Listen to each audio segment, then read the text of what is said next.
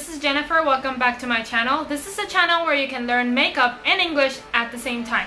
For today's video, I'll be featuring this. It's the Batiste Dry Shampoo.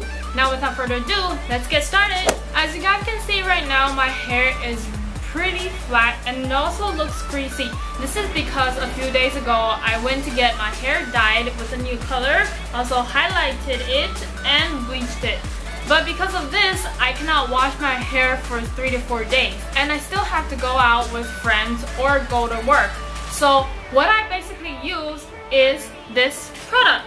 This is called a dry shampoo. And these are literally my all-time favorites. I love to use these dry shampoos and I have used uh, at least 5 or 6 bottles of these already, not including these two. This is called Batiste Dry Shampoo and it actually comes from England.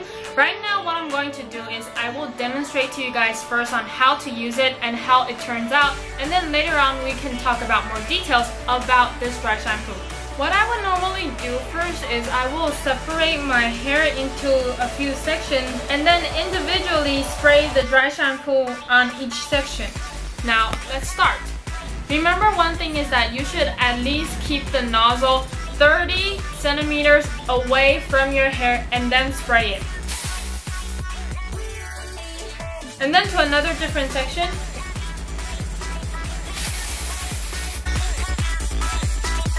So right now I'm done spraying and you can see my hair is a little bit white and then I will use this brush to brush it like this.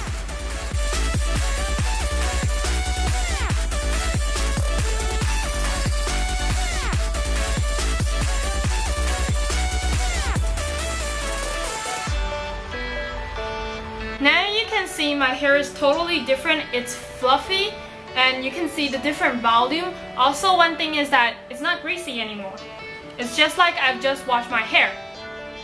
Now you guys have seen the results on how it has performed on my hair. It comes with a lot of different scents, but this one is my favorite, favorite scent. It's not that sweet and it doesn't have the floral scent either. So it's pretty good for boys and girls. If you guys want to try this dry shampoo at first but you don't want to try a very strong scent, then I would strongly recommend you guys to try this scent. One, on the other hand, is the floral one, which I just used to demonstrate to you guys. This one, it kind of has a stronger scent, so I would not recommend to people if you are going to try this kind of dry shampoo for the first time. And overall, there are different colors you can also look up on the internet, on the website, for different scents. In conclusion, what exactly is the occasion that you can use this product? First, when you have your hair dyed and you are not able to wash your hair for 3 to 4 days and your hair becomes greasy and flat. Second, when you have overslept in the morning and you don't have time to wash your hair before you go out, this will come in handy. Third, if you ride scooters as your transportation tool and after a long ride you take off your helmet and realize that your hair is flat and greasy, this will also come in handy. It can immediately give you volume and decrease the greasiness on your hair. Last but not the least, I still have to make a small disclaimer about this product. Since this product is still chemical product, I do not recommend that you guys use it every single day just to avoid washing your hair. You still have to wash your hair on daily basis. It's up to you how frequent you wash your hair. But once again, I do not recommend you to use this every day. Hope you guys liked my video today. If you like my videos, please subscribe and give me a like down below.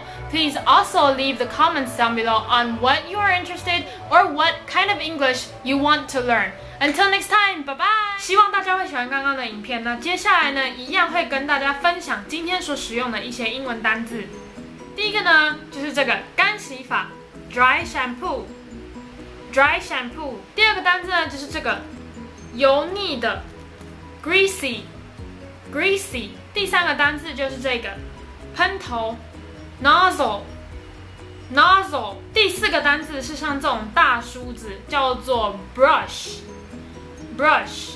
那一般人都会觉得说，如果梳子的话呢，通常我们都会用 comb 来讲，但是 comb 指的是比较像是小小一根一根那种细的那一种才会叫做梳子。如果是像这种比较大一点的话呢，我们都还是会称它为 brush。brush。第五个单字就是这个挑染，挑染叫做 highlight，highlight。如果你喜欢今天的影片，欢迎订阅我的频道，帮我按个赞，分享出去，或者是留言在底下告诉我有什么地方可以改进，或者是你想要学怎么样的英文。那我们下次再见喽，拜拜。